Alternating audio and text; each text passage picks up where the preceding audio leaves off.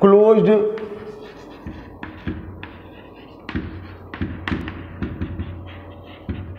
circulatory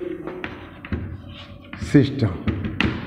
Closed blood circulatory system. Closed blood circulatory system means here blood is not directly coming into contact of body organ. Blood is flowing through the artery, capillary and veins, and through the capillary exchange of gases, exchange of nutrients takes place आपने open circulatory system में देखा कि blood sinuses में chamber में है visceral organ are taking bath there exchanging their बैटेरियल लेकिन यहाँ सबसे अलग है आप देख सकते हैं कि blood is pumped by heart heart ने पंप किया तो ऊपरी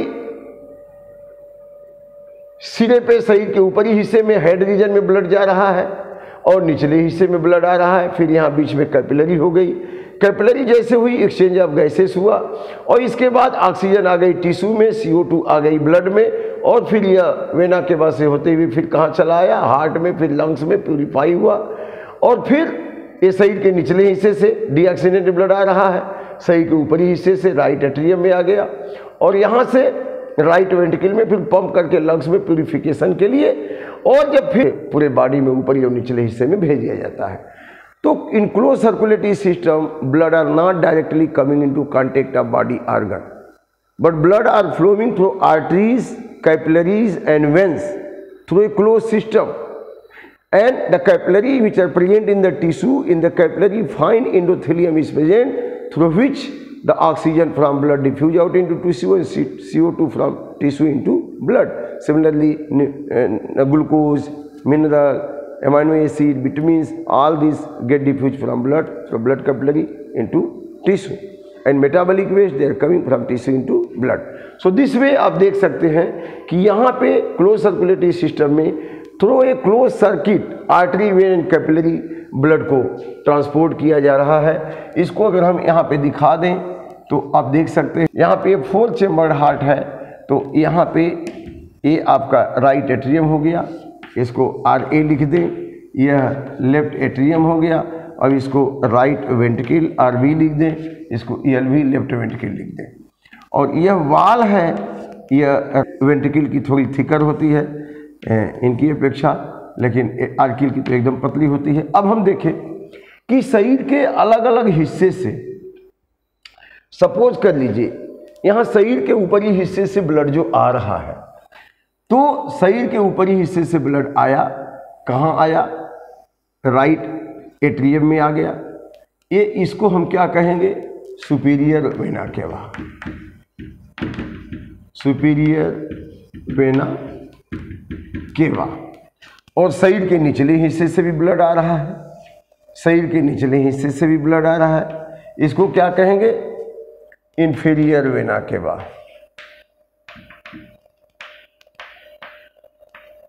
वेना केवा तो यहाँ से भी ब्लड आ रहा है इधर से भी आ रहा है यहाँ आ गया राइट एट्रियम में अब यहाँ पे एक ट्राई कस्पिड वाल्व है तो ब्लड कहाँ आ गया राइट एट्रियम से राइट वेंटिकल में ब्लड आ गया एक ऐसा ब्लड है डीऑक्सीनेटेड है डीऑक्सीजिनेटेड है ये डीऑक्सीनेटेड ब्लड सब फ्लो हो रहा है सही कभी भी हिस्से से आ रहा है ऊपरी हिस्से से निचले हिस्से से लेकिन यहाँ आने के साथ साथ ये जब कॉन्ट्रैक्ट करेगा तो ब्लड पम्प किया जाएगा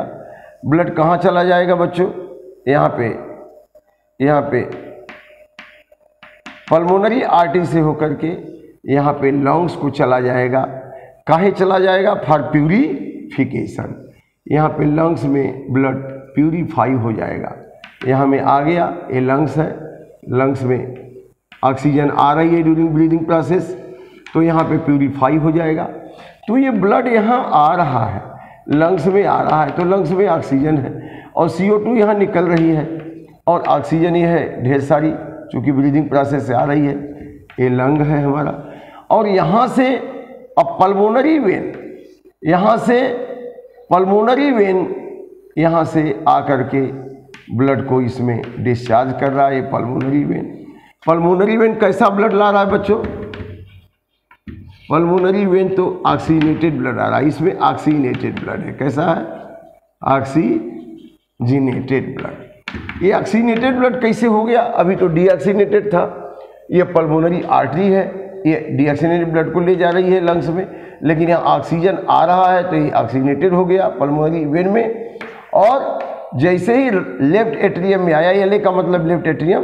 अब यहाँ पे एक माइट्रल बाल्व है या बाइक स्पीड बाल्व यहाँ से ब्लड आ गया इसमें लेफ्ट वेंटिकल में अब लेफ्ट वेंटिकल फोर्सफुली पंप करेगा ब्लड को तो पंप किया तो कहाँ जाएगा सिस्टमिक एआर्ट्रा अब सिस्टमिक एआर्ट्रा से होके यह शरीर के विभिन्न हिस्से को ब्लड चला जाएगा यहाँ पे ए ए जो है प्योर ब्लड ऑक्सीनेटेड ब्लड है कहाँ जा रहा है शरीर के विभिन्न हिस्से को ए जाएगा ये तो लंग्स है ए, ए शरीर के ऊपरी हिस्से को जाएगा शरीर के ऊपरी हिस्से को चले गया और शरीर के निचले हिस्से को आ गया ये शरीर के यहाँ पे हमें दिखा सकते हैं ये शरीर के ऊपरी हिस्से को चला गया अब ये शरीर के निचले हिस्से को आ रहा है ये निचले भी हिस्से को आ रहा है अब निचले हिस्से को आ रहा है ए सिस्टमिक एटरा है सिस्टमिक ये हटा अब यहाँ शरीर के निचले हिस्से में ये तमाम सारी शाखाओं में बढ़ गया तमाम कैपिलरीज में बढ़ गया तमाम कैपिलरीज में बढ़ गया तमाम सारी कैपिलरीज में बढ़ गया तमाम सारी कैपिलरीज में बढ़ गया तमाम सारी कैपिलरीज में बढ़ गया ये और कैपिलरीज में बढ़ कर के ये तमाम सारी कैपिलरीज में बढ़ गया और ये आ गया इसे बन करके तो यहाँ कैपिलरीज हैं अब कैपिलरी से डिफ्यूज होके ऑक्सीजन चली आएगी टिश्यू में और सी ओ टू चली आएगी यहाँ से ऑक्सीजन आ गई टिश्यू में टिश्यू में और टिश्यू में जो सी ओ टू बनी रिस्पिरेशन की प्रक्रिया में चली आई ब्लड में तो यह ऑक्सीजनेटेड ब्लड हो गया कैसा ब्लड हो गया ऑक्सीजनेटेड और ये कैसा हो गया फिर डीऑक्सीजिनेटेड तो यहाँ कोई आर्गन डायरेक्ट बात नहीं कर रहा ब्लड में ये केवल डिफ्यूज होके आ गया टिश्यू में यहाँ टिश्यू में और यहाँ टिश्यू से ये आ गया ब्लड में और ऐसे ही ऊपरी हिस्से में भी यहाँ भी ऊपरी हिस्से में भी ऐसे ही है ऊपरी हिस्से में भी ऐसे ही ब्लड आ रहा है और यहाँ भी ढेर सारी कैपिलरी हो गई ढेर सारी कैपिलरी ढेर सारी कैपिलरी और यहाँ ब्लड आ गया ऐसे डीऑक्सीनेटेड ब्लड आ रहा है और यहाँ पे ये सिस्टमिक आटा से शरीर के निचले हिस्से में ऊपर हिस्से में जा रहा है तो आप सब कह सकते हैं कि कैसे ये क्लोज सर्कुलेटरी सिस्टम है क्योंकि blood is flowing through the capillary veins and artery अब देखिए शरीर के ऊपरी हिस्से से ये हेड रीजन है इसको क्या कहेंगे ये हेड रीजन हेड रीजन ये हेड रीजन से ये ब्लड आ रहा है डीऑक्सीनेटेड ब्लड और यह आ गया राइट एट्रियम में और यहाँ सही के निचले हिस्से से आ गया राइट एट्रियम में और एट्रियम कॉन्ट्रैक्ट किया तो थोड़ा टाइक स्पीड बॉल आ गया राइट वेंटिकल में और ये पंप किया तो थोड़ा पल्मोनरी वेन आ गया लंग्स में प्योरीफाई तो होके फिर कहाँ चला आया अब यहाँ पल्मोनरी वेन से होके लेफ्ट एट्रियम में इसको लेफ्ट एट्रियम बोल देंगे हम लेफ्ट एट्रियम जैसे इसको राइट एट्रियम बोलते थे राइट एट्रियम वैसे ही यह राइट वेंटिकल है वेंटिकल है और वैसे ही यह लेफ्ट वेंटिकल है तो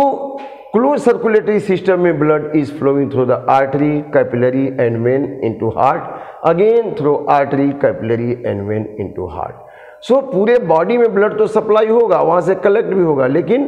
क्लोज सिस्टम के द्वारा it is not coming into direct contact of the body tissue so this is called as close circulatory system ये जितने भी डेवलप्ड एनिमल हैं जैसे फिशेस है बर्ड है फिवियंस है रेप्टाइल्स है मैमल्स हैं हम लोग भी हैं सब में क्लोज सर्कुलेटरी सिस्टम पाया जाता है तो यह क्या है बच्चों close circulatory system thank you very much